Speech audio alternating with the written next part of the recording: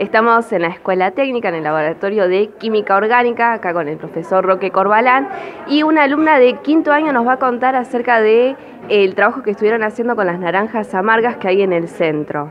Nosotros habíamos estado eh, trabajando con, con las naranjas eh, estuvimos trabajando con las naranjas porque, primero que están ahí, en la vía pública. ¿Por qué están ahí? ¿Cómo llegaron a la, vía pública? Porque el abuelo de uno de nuestros profesores, que se llama, o sea, el abuelo se llama Patricio Ernesto eh, Gorini, eh, era director de la Escuela 1, que en su momento era la 5, y propuso un proyecto para el Día del Árbol de arbolar toda la ciudad, decorando.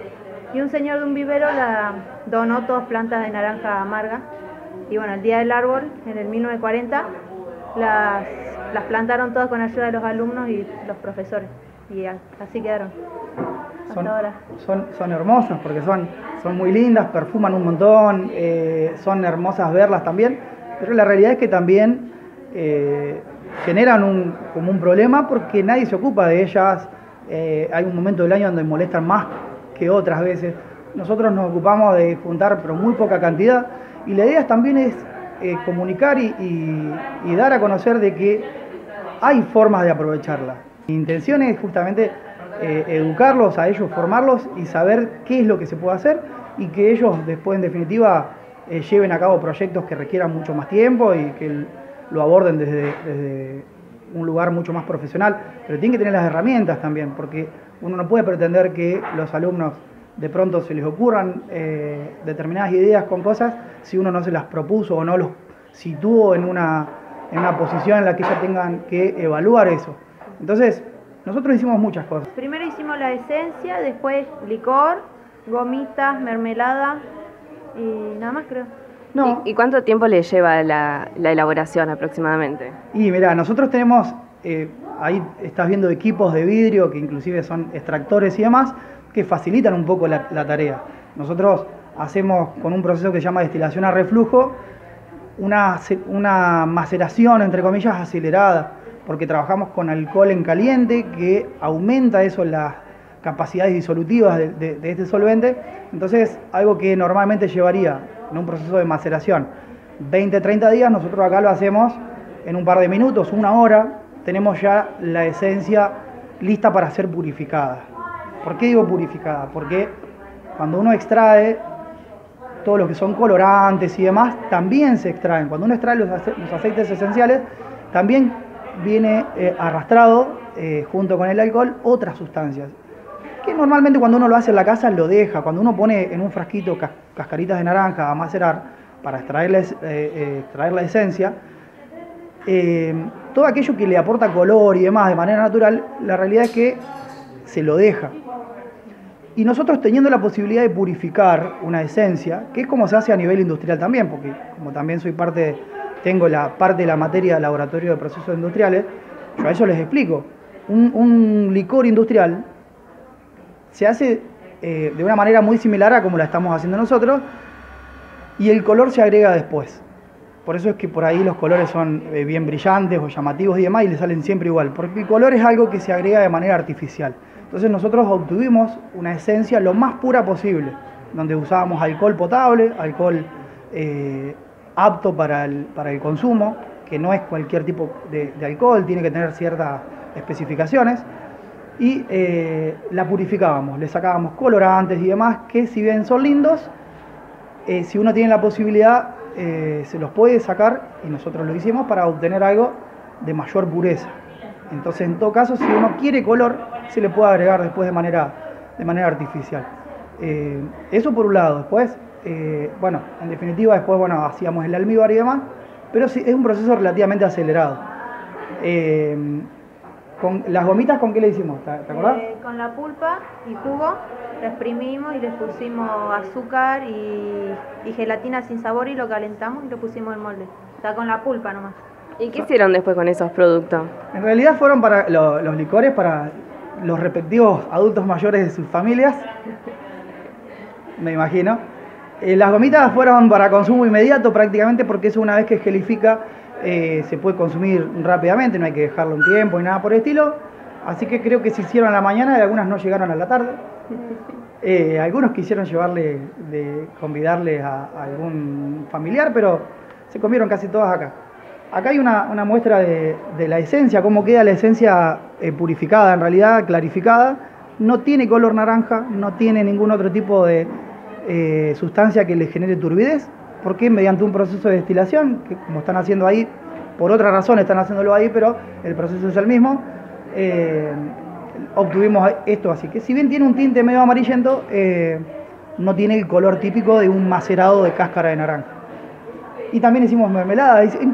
La verdad es que hubo casi, casi nada de desperdicio, porque inclusive hasta las semillas, las semillas fueron utilizadas en la elaboración de la, de la mermelada. Porque la mermelada tratábamos de que no quede nada, nada, nada ollejo, porque es lo que le aporta sabor amargo en realidad.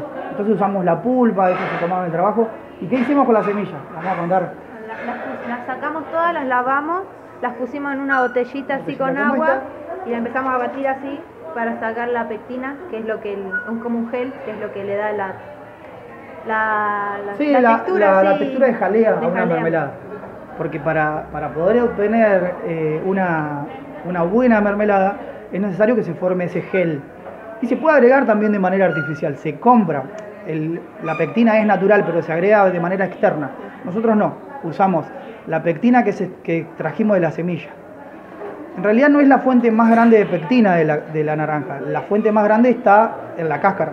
La parte blanca de la cáscara es la pectina, pero es lo que viene también con todos los sabores amargos. Entonces quisimos evitar esa fuente de pectina y usamos una fuente extra que es la semilla y es tremendo como nosotros poníamos las semillitas acá, que aparte tienen muchísima cantidad de semillas estas, estas naranjas, pero muchas, muchas más que cualquier naranja comercial. Las poníamos en la botellita y los chicos se ponían a agitar y después a veces se gelificaba tanto que se dificultaba sacar, eh, sacarla dentro de la botella. ¿Qué hacíamos con eso? Lo mezclábamos con la pulpa, poníamos después partes iguales con, el azúcar y eh, después el azúcar y el calor y demás hacía su trabajo formaba una, una jalea estupenda, muy, muy, muy buena y aparte riquísima. Y lo de las gomitas eh, también, es como que a ver qué sale, porque el jugo tiene un sabor muy ácido. Digo, probemos. Eh, aquella primera vez que hice y nos, sorprendió a todos porque quedan súper, súper ricas. Eh, sí son ácidas, la gomita queda ácida, pero hoy en día hay un mercado de gomitas ácidas que, que tranquilamente podrían competir porque quedan muy, muy ricas. Después uno tiene que evaluar eh, qué hace falta, qué tiene que modificar o no para que compitan en un mercado. Eso ya eh, lo pueden hacer inclusive con otros profes que tienen también en diferentes materias acá. Pero... Bueno, y sabrán que salió la nota en, la opinión de qué se puede hacer y muchos decían, bueno, esto es lo más fácil hacer dulce. ¿Ustedes qué recomiendan a la gente? ¿Es eh, factible juntar las naranjas, e ir haciendo distintos productos? O? Sí, sí, la verdad que yo opino que sí, ellos lo hicieron muy fácil, no hubo ningún tipo de inconvenientes. Eh, no hace falta nada, es decir, nosotros acá tenemos equipamiento específico de química que hace que algunos procesos sean un poco más fáciles, eh, también requieren eh, que ellos sepan manipular esos elementos, pero se puede hacer en casa tranquilamente y la verdad que los recomiendo, porque todo lo que se produce es, rico. las esencias quedan estupendas, nosotros hicimos licores, no todos, algunos se llevaron la esencia alcohólica, como una esencia de vainilla, por ejemplo, y esto se puede usar para cocinar. No sé, estás haciendo una mermelada, le pones un poquitito de esencia a la mermelada para que adquiera sabores cítricos, a un budín, a un bizcochuelo. Se puede usar para otras cosas, no solo para la industria eh, de bebidas alcohólicas. Eh, lo de las gomitas, súper, súper, súper fácil también. es cuestión de estudiar el tema de las proporciones y un consejo que les doy por ahí para eh, la mermelada sobre todo, es que traten de dejar afuera todo el ollejo posible. Es un trabajito un poco más arduo, por ahí exprimirla y quedarse solamente con la, con la pulpa. Eh, y que aprovechen las semillas, que no la tiren, porque es una fuente de pectina eh, increíble. Gelifica un montón, la pectina es como, como un almidón, sería una cosa así, que, que absorbe humedad y en ese proceso de absorción de humedad forma geles, que es lo que da la textura de jalea. Así que tampoco tiren la semilla. Y yo sé que algunos inclusive con las cáscaras pueden hacer eh, cáscaras confitadas, que cuando nosotros hacemos la esencia no quedan aptas para eso porque quedan deshidratadas. pero también podría ser una opción.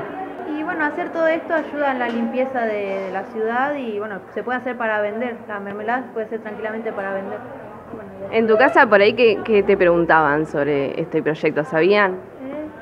Yo les iba contando cómo lo hacíamos, que lo podíamos hacer en un frasco, así por mi casa, a la esencia, en un frasco con alcohol y las cáscaras, y que podíamos hacer la, esencia en mi casa. Eso no solo es que eh, trabajamos con naranja durante todo el año, ahora estamos haciendo, por ejemplo, eh, determinación de materia grasa. Eh, los chicos tienen que especializarse en el manejo, la manipulación de no solo solventes peligrosos y demás, sino también en equipamiento específico, muy sensible y demás. Y la verdad es que lo están haciendo muy bien. Estamos haciendo determinación de materia grasa de nueces pecan, creo que habían traído ustedes, y maní. Otros dos grupos hicieron de maní extracción con solvente, un equipo especial, para determinar qué porcentaje de grasa hay en esto. Que a ellos también a veces les sirve, muchos terminan, por ejemplo, trabajando en Arcor o tienen sus pasantías por ahí, y es un análisis que hacen todos los días. Este es uno de los tantos que hacen, la determinación de, materia grasa, en caso de Arcor, de, maíz, del germen del maíz. Pero bueno, eh, estamos ya, ellos, hay un grupo que está en la primera etapa y otros tres grupos eh, están finalizando ese trabajo. También un poco a la, sociedad que confíe en nuestros técnicos, que yo les digo a ellos siempre, confíen ustedes mismos en ustedes. No, profe, tengo que hacer esto, pero esto es peligroso. Sí, pero ustedes son los que eh, se están preparando para ser quienes sean aptos en la manipulación de esas, de esas sustancias que son peligrosas, que son inflamables y demás. Si no lo hace un técnico químico, ¿quién, quién va a ser capaz de manipular esas, esas cosas? Entonces, me parece que lo principal en todo esto es generar confianza en ellos mismos y que la gente también confíe en que estamos trabajando para ellos y también para la comunidad.